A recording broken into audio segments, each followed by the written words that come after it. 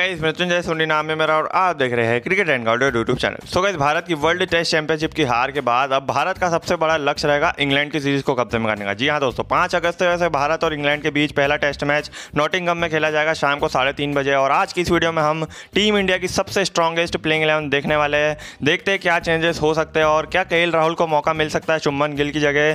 तो बहुत interesting video होने वाली है। टीम इंडिया के फ़ैन हो तो इस वीडियो को लाइक और शेयर कर देना। चैनल पर नया है तो चैनल को सब्सक्राइब कर देना बेल आइकन देना ताकि मेरे लेटेस्ट आने वाली वीडियो सब तक पहुँच जाए। तो ज़्यादा टाइम वेस्ट नहीं करते और फटाफट से वीडियो को स्टार्ट करते। चलिए दोस्तों, इस वीडियो की शुरुआत करते हैं और सबसे पहले मैं थोड़ी डिटेल दे देता हूँ इस मैच की। तो ये जो मैच है, ये चार अगस्त को शाम को साढ़े बजे ट्रेंट ब्रिज नॉटिंगम में खेला जाएगा।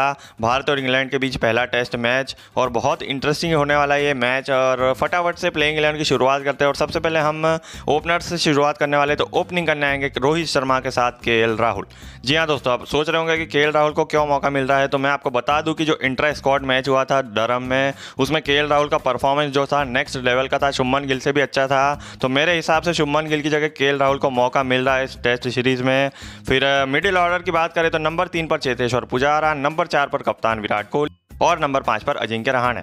तो मिडिल ऑर्डर बहुत अच्छा है, Cheteshwar Pujara as it is रहेंगे, कप्तान विराट कोहली चार नंबर पर और नंबर पाँच पर अजिंक्य रहाणे। तो मिडिल ऑर्डर बहुत अच्छा दिख रहा है, फिर लोअर ऑर्डर की बात करें तो नंबर छः पर ऋषभ पंत, नंबर सात पर रविंद्र जाडेजा और नंबर आठ पर रविचंद्रन अश्विन। और बहुत ही स्ट्रांग दिख रही है मतलब लोअर ऑर्डर भी बहुत अच्छा है टीम इंडिया का रविंद्र जाडेजा बहुत अच्छी बैटिंग कर लेते हैं। लोअर ऑर्डर में आकर रविचंद्रन अश्विन का भी फॉर्म बहुत अच्छा है, और ऋषभ पंत तो नेक्स्ट लेवल में है कोविड पॉजिटिव हुए थे पर अच्छे हो गए हैं ऋषभ पंत। फिर टेल एंडर्स बॉलर्स की बात करें तो नंबर नौ पर ईशांत शर्मा नंबर दस पर जसप्रीत बुमराह और नंबर ग्यारह पर मोहम्मद शमी। तो मोहम्मद शमी भी बहुत अच्छा खेल रहे हैं। इंग्लैंड में उनका परफॉर्मेंस बहुत अच्छा रहता है।